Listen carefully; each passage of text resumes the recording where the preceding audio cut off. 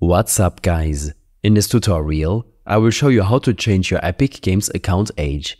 This should be quite an easy tutorial. For more information, click on the first link in the description below.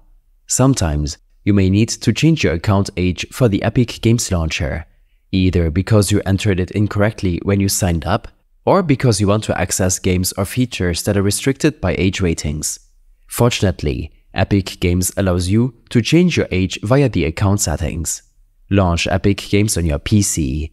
Click on your profile icon located at the upper right corner of your screen. In the drop-down menu, navigate to your account.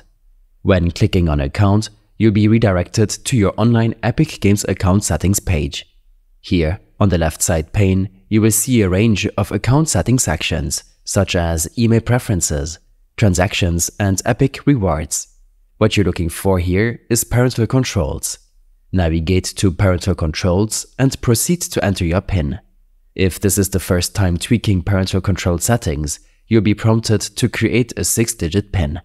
Create it, and you'll enter the parental control settings page. Here, scroll down until you see the age graph slider used for requiring a PIN to get new games above a certain age limit. Make sure the slider is at unrated as it eliminates any restriction for age limits when downloading games from the Epic Games Store. If it is at any other number, such as 7 plus or 12 plus, drag the slider to the right until you land on the unrated category for any age limit of your choosing, such as 16 plus or 18 plus.